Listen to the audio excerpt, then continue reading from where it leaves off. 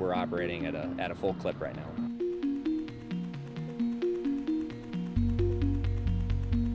Anything that hits a grocery store hits a Market Express truck. Toilet paper, toilet tissue um, is a big uh, item of discussion at the moment. Bottled water, um, cereals, um, everything, you, uh, household cleaners.